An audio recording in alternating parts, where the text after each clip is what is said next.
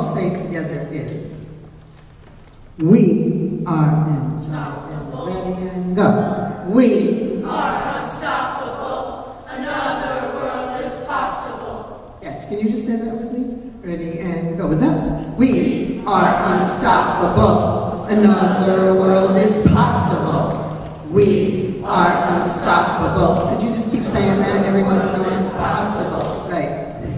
We get toward the end, just feel free to just say that with us. Okay, how are you going to do that? Show us. We're going to be quiet. You go. Ready and go. We are unstoppable. Another world is possible. Those singers, do it with us. Ready and go. That was really good, by the way. It was a little dull, but and I didn't believe you. But feel free to make me believe what that you're saying because we're going to say go.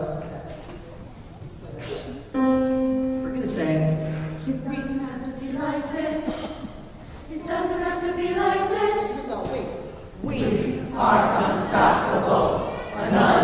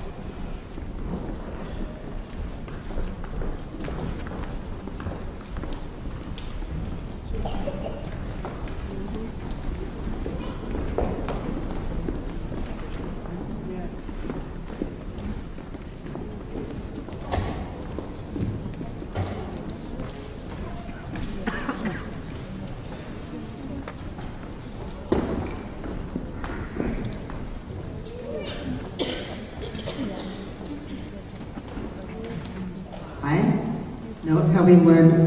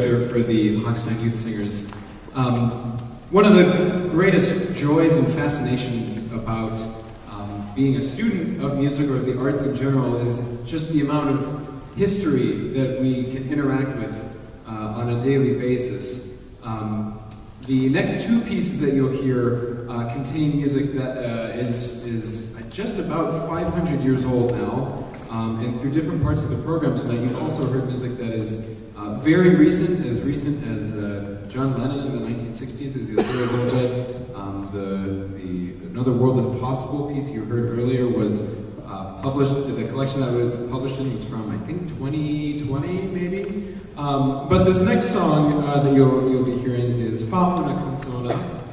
Uh, it's an Italian madrigal from 1580, and I just wanted to read you uh, the translation here because we will not be singing the translation for you. We're going to sing it all in Italian. Sing me a song with no dissonance if you ever wanted my favor. Write it so that it will bring me to sleep, make it end sweetly. Don't put any harshness into it because my ears are not ready for that.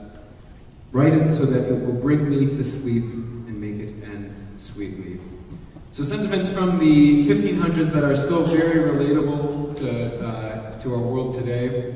Um, and if I can put a little plug in, as we're talking about music old and brand new, if you look in your programs at our upcoming concert dates, uh, March 14th is our next uh, concert in the new year. And um, as part of my other role with this ensemble as composer in residence, um, I like to write at least one new piece for them every year. And um, March 14th is when we'll get to premiere that piece. So we hope you can join us on, uh, I believe it's Thursday, March 14th. Um, that's in your program there. So, Fa una.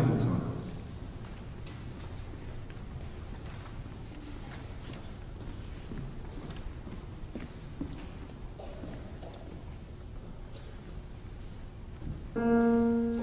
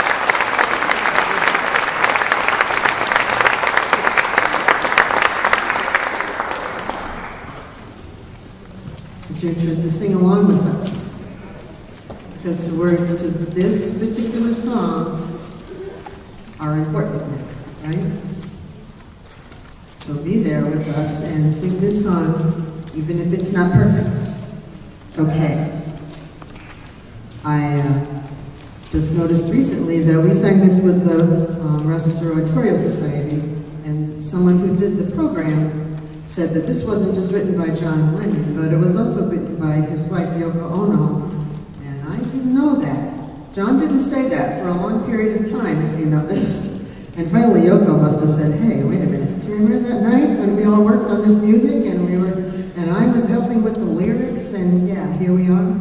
So uh, John and Yoko had the foresight to, foresight to write this lovely piece that, thank you for joining us.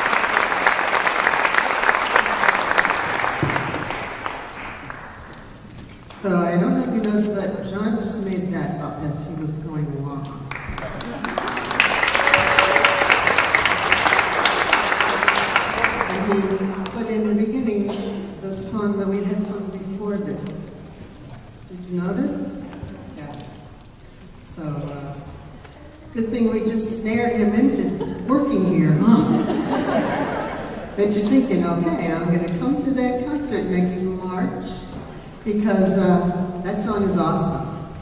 That he's already started working on with us, and do come and do mark all of those things that are on the back of our program that say when we are doing other things coming up because uh, you are welcome to this be as lovely an audience as you already are being.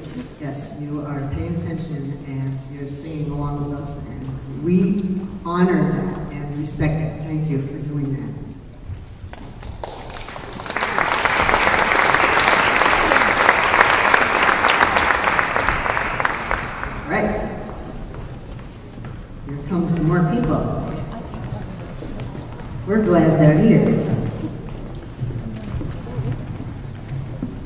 You see that guy over there? That is Tim Robinski. He's going to play, as you can tell, the banjo for us. And uh, he is part of the folk song, what's it called? Golden Link Folk Singing Society. So thanks for coming.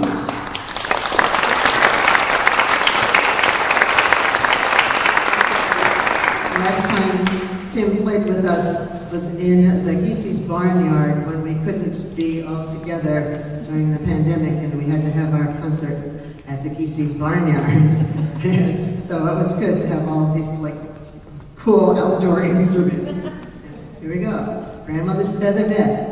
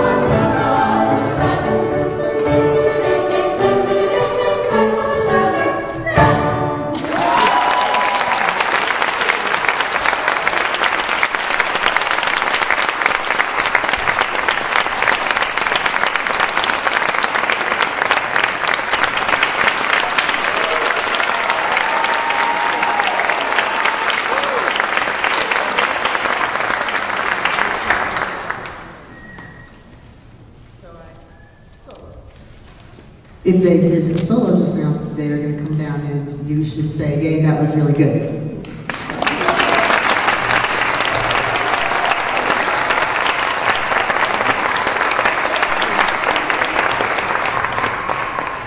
Bad, I gave bad directions. In grandmother's fe- feather bed, if you did a solo, come down.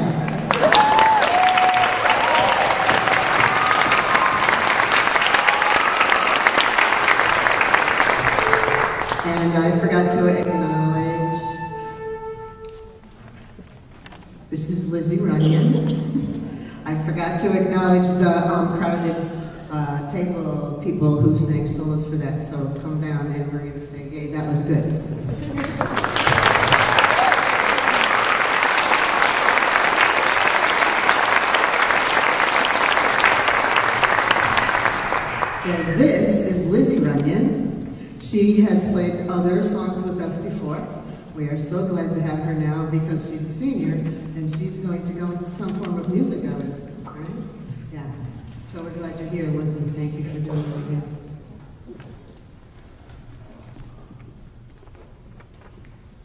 This song says 19 different languages using the word peace. Peace in 19 different languages. And we have to look up a lot of these places. And we have a map upstairs if you'd like to come and check it out and see where all those places were because a lot of us didn't know that. But you know who knew that? Nadia. Nadia knew where every single one of these very unusual places were. Yay. For Nadia. She's like, wait, I didn't know you were going to say anything about me.